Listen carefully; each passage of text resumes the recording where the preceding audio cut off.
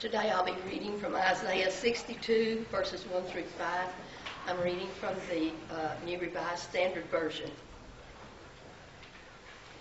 For Zion's sake I will not keep silent, and for Jerusalem's sake I will not rest, until her vindication shines out like the dawn, and her salvation like a burning torch. The nations shall, shall see your vindication, and all the kings your glory.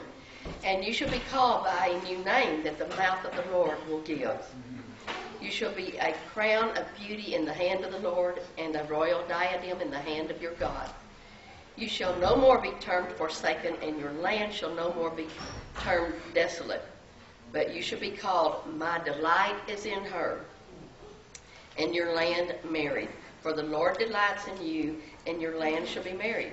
For as a young man marries a young woman, so shall your builder marry you, and the bridegroom rejoices over the bride. So shall your God rejoice over you. Amen. Amen. Please stand for the reading of New Testament scripture.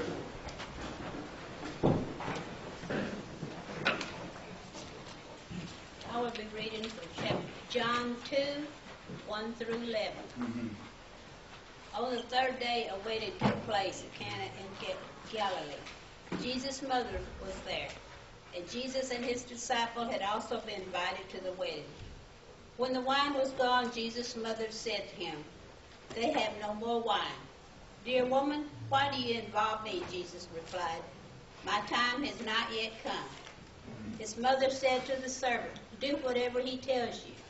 Nearby stood six stone water jars, the kind used by the Jews for ceremonial washing, each holding from 20 to 30 gallons. Jesus said to the servants, Fill the jars with water. So they filled them to the brim. Then he told them, Now draw some out and take it to the master of the banquet. They did so.